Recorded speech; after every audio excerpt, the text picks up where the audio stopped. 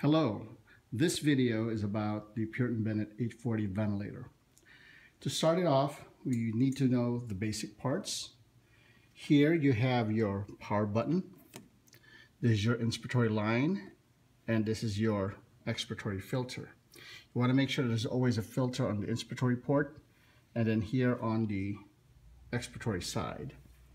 In order to take out the filter, all you have to do is lift the lever and then take it out.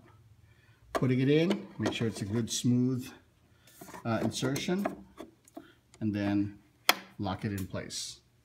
As you can see here as well,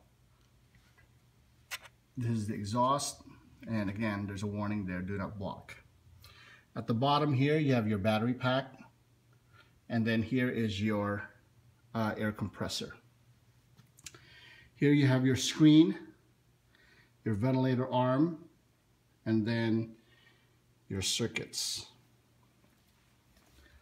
On the side here at the back, you have your oxygen port and then your air port in which you could connect the oxygen and air hoses.